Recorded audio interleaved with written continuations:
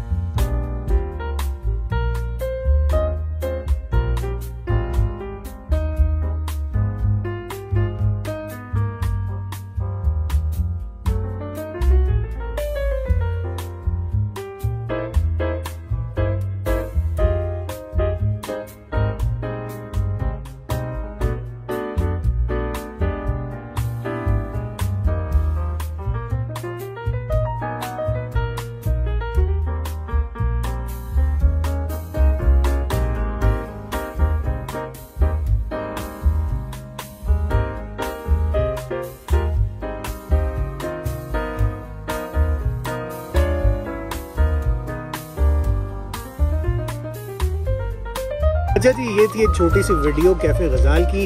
इसकी लोकेशन जो है वो मैं डिस्क्रिप्शन में डाल दूँगा और कॉन्टैक्ट नंबर अगर मुझे नेट से मिल गया इनका, वो भी डाल दूँगा।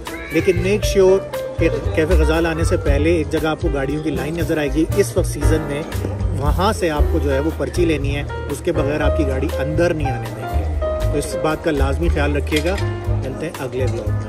अलैक्म